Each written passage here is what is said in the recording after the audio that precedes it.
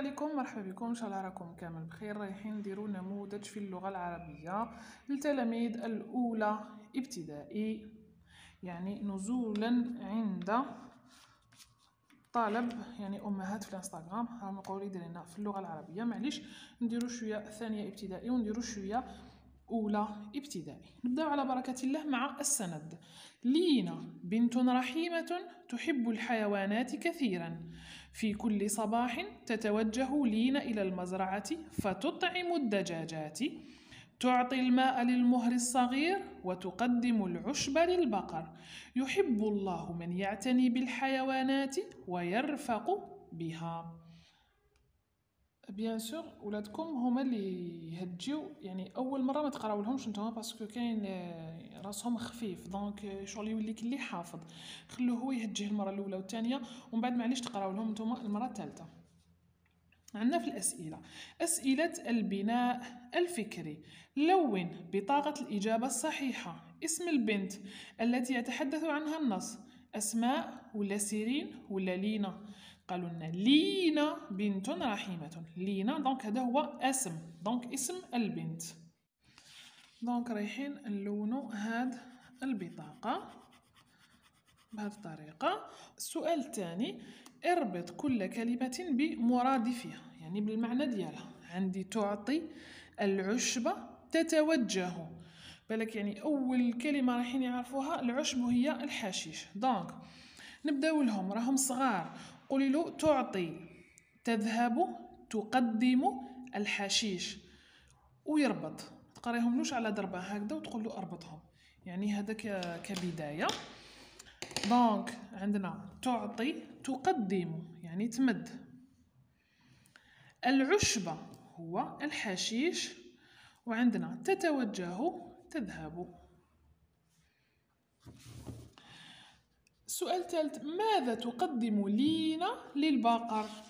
نولو للنص عندنا تتوجه لينا إلى المزرعة فتطعم الدجاجات تعطي الماء للمهر الصغير وتقدم العشب للبقر. دونك ماذا تقدم لينا للبقر؟ تقدم لينا للبقر العشب. أحبس. العشبة هكذا. عندنا أسئلة البناء اللغوي. استخرج من النص كلمات تحتوي على الحروف التالية.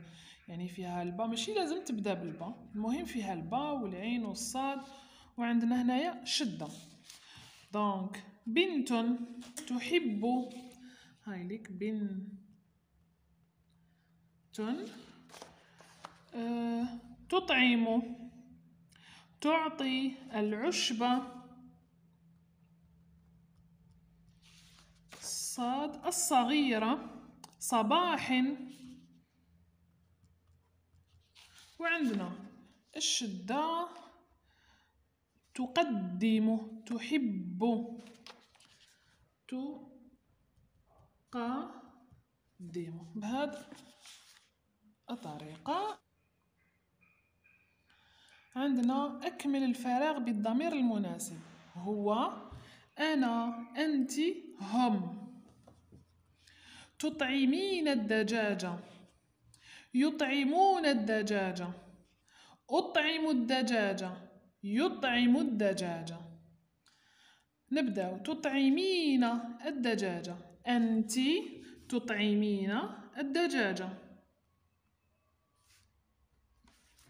يطعمون هم. يطعمون الدجاج. أنا أطعم الدجاج هو يطعم الدجاج. عندنا إملاء يعني المجال راه واسع ليمون طارق ديروا لهم بالمدود وديروا لهم تاع تاع مفتوحة وتاع مربوطة. بيت بنت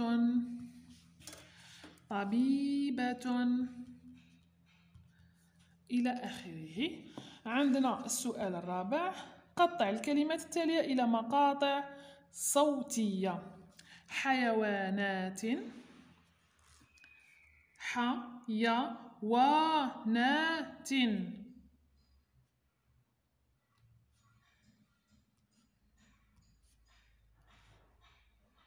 عندنا ح يا ونات رحيمة. را. حيمة